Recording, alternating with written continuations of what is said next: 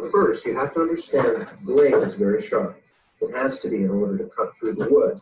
See how easy that is? Wow, that blade is very sharp. And that reminds me of something that your grandfather told me when he gave me this knife. He said the blade may be sharp, but it's been very bright. What do you mean? Well, it means that the knife can't think. It can't tell the difference between cutting through the stick and cutting through your finger. It's up to you to do that. Oh, I get it. You always have to be careful with the knife so you don't get cut. Exactly. Now look here. You always want to cut away from your body and keep your other hand out of the way. Okay? At some point, most of us have been exposed to safety rules concerning knives. It's an area that overlaps into many aspects of our lives. Many of us use knives at work, at home, or while enjoying our favorite recreational activities. And while the rules about knife safety, which you may have learned as a youth, still apply, today's wide variety of knives and various industrial applications for their use require us to stay sharp, always keeping our safety in mind while using industrial knives. Knives, in their simplest form, consist of a sharp cutting blade and a handle.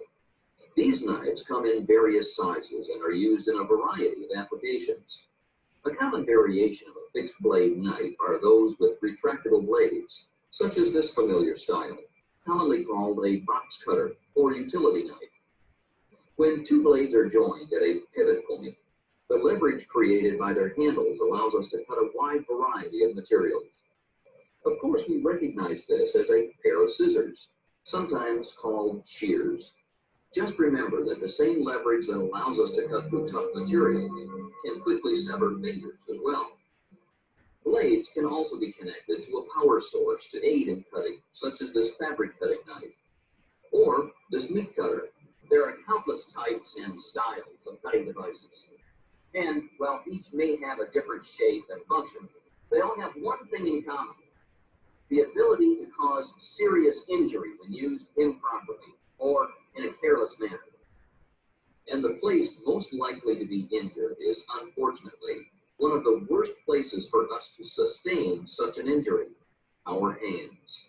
In order for our hands to open, close, grasp, and pinch objects, a complex combination of muscles, tendons, and nerves must work together. If any of these structures are damaged, then coordinated motion is no longer possible. Located on the back side of the hand, as well as the palm side, are important groups of tendons. These tendons control such movements as closing and opening our fingers and bending our wrists up or down. When these tendons are cut, these critical movements are no longer possible. The hand and forearm also contain important nerves that provide sensation and control the movement of the muscles. If the portion of nerve responsible for movement is damaged, the hand cannot move in a controlled manner, making grasping and holding objects almost impossible. Unfortunately, lacerated tendons and major nerves cannot repair themselves. They can only be repaired through delicate hand surgery. Even after surgery, it can require months of intensive therapy to regain functional use of the hand. This therapy requires specialized splinting and rigorous rehabilitation exercises, which must be performed every hour the patient is awake over the course of several weeks. This may then be followed by ongoing therapy lasting many months. Unfortunately, many patients aren't emotionally prepared for such a long rehab process, and how much this type of injury can impact on their ability to perform even the simplest of tasks, such as writing, dressing, or even driving a car. Oftentimes, these patients give up on the therapy process before they're able to regain full functional hand use. As a hand therapist, I've seen a lot of patients who are surprised at how quickly major damage can occur from just one moment of carelessness. As users of industrial knives, we must avoid any moments of carelessness. As we proceed through this program, we will discuss important safety rules concerning industrial knives and give you some valuable tips to stay safe. No matter what type of application you have or what environment you are working in, keeping a sharp blade makes it easier to cut through material and keep the blade under control. Depending on the type of knife you're using, there are various ways to maintain a sharp blade. When using utility knives, such as this one, the blade may be scored to allow the dull section to be snapped off and a sharp edge to take its place. When performing this function, always wear safety glasses because the blade may fly away with enough force to cause an eye injury. Always use an assist device to snap the blade, such as a pair of pliers. Never use your hand or force the blade against a solid object. Other types of utility knives require a new blade be installed and the worn one replaced. Many blades can simply be flipped over to expose a new edge, or the blade may need to be completely replaced. In either case, remember that even a worn blade is sharp and must be handled carefully. Only hold the blade on the unsharpened side. When disposing of a used blade, it must be disposed of in a safe manner. Don't just throw a blade into the trash. This places others at risk. The best place to dispose of a used blade is to place it in a container designed to safely handle sharp objects. An alternative disposal method is to carefully wrap several layers of tape around the blade before placing it in a waste container. Check with your supervisor if you are unsure of how to properly dispose of used blades. After installing a new blade, reassemble the knife, making sure all parts are tightened properly. On knives with screws, inspect the threads periodically to make sure they're not stripped. Fixed blade knives must also be kept sharp and in good working condition. Before using a fixed blade knife, check for any signs of damage, such as cracked handles. Make sure the connection between the blade and the handle is secure. Knives with loose blades, damaged handles, or other defects must be removed from service. Fixed blade knives and scissors should only be sharpened by a person properly trained and authorized by the company. Many companies have a specific sharpening schedule for fixed blade knives. The period between sharpening depends on the frequency of use and the type of material being cut. Always follow your company's recommended frequency of changing to a newly sharpened blade, even if you think the blade is working fine. Studies have shown that the effects of a dull blade often begin before the user can perceive a need to change blades. This is especially important when performing tasks which require repetitive cutting. Using a dull blade adds additional strain to the cutting motion, which can contribute to fatigue and the onset of musculoskeletal disorders over time. Of course, many common uses of knives aren't controlled by a regular sharpening schedule, so it's up to us to recognize the signs of a dulling blade. If you notice an increase in the amount of force needed to cut material, or see the blade is tearing material rather than cutting it, it's time to get a new blade. Cutting with a dull blade can lead to a variety of unsafe situations, such as applying so much force the blade bends or breaks, a loss of balance when the blade slips free of the material, or we become so focused trying to cut that we quit paying attention to the path of blade travel, leading to injury. Even with a sharp blade, applying too much pressure can be a source of injury. When cutting thick materials, make several passes, cutting a little bit each time rather than trying to cut through the material all at once. Another safety tip for preventing injuries while using knives is to maintain an awareness of where your body parts are located relative to the path the blade will travel. Of course, we've all heard the advice to always cut away from our body, which works well for whittling a stick, but is usually very awkward in most industrial applications.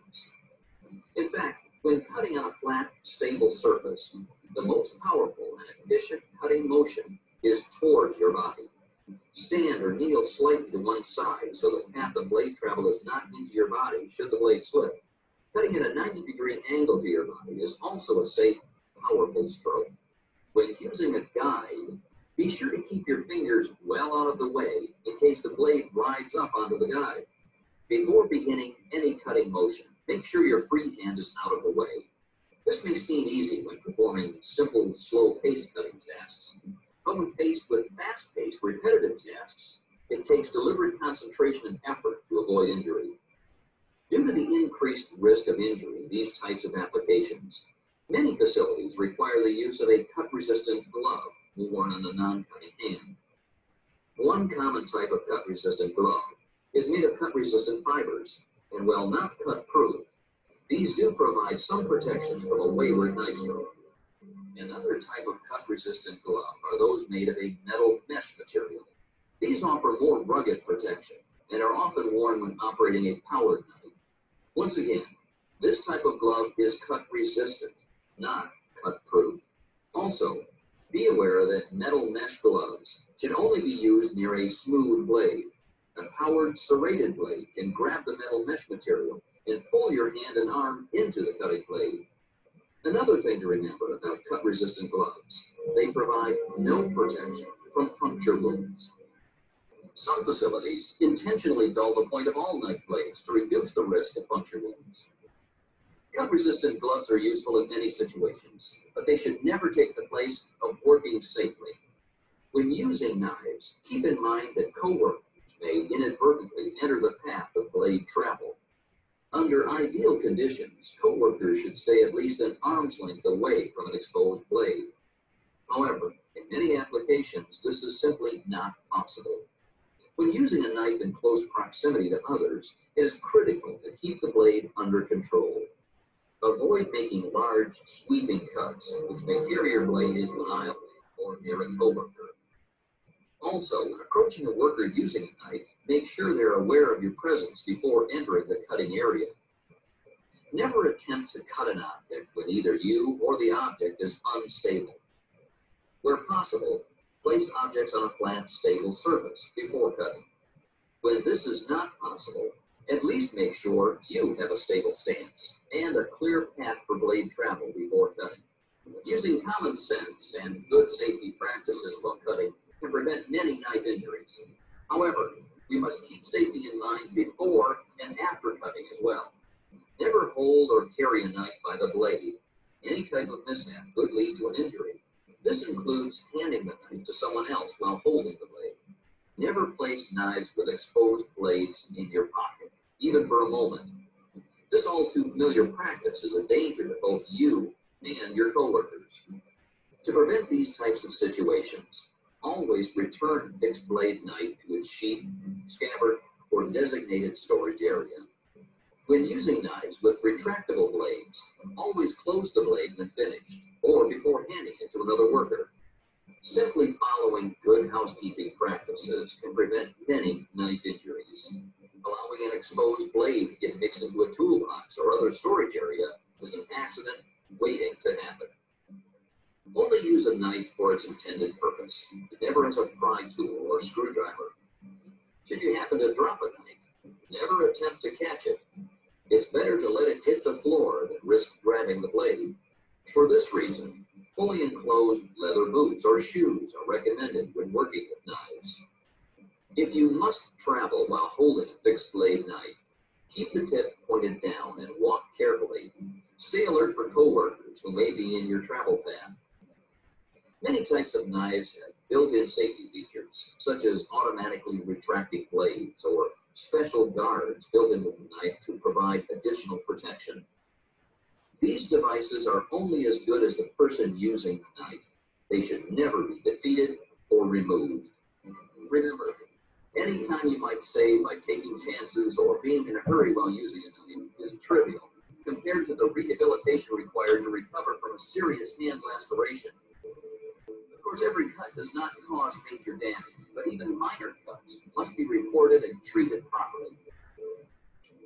Failing to properly treat a wound, especially in an industrial or food processing environment, can lead to serious infections. Make sure you are familiar with your company's procedures for reporting a cut or other injury, because only through the reporting process can the company ensure that you receive proper first aid and that your work area and knife blade are properly decontaminated to eliminate the risks presented by bloodborne pathogens. Because we use knives so often, both at work and in our homes, we can become complacent to their dangers. Don't allow a poor safety attitude to place you at risk for a hand injury. Keep your safety commitment sharp while using any type of industrial knife. And always remember, the blade may be sharp, but it's not very bright. That part is up to you. Have a good day and a safe day.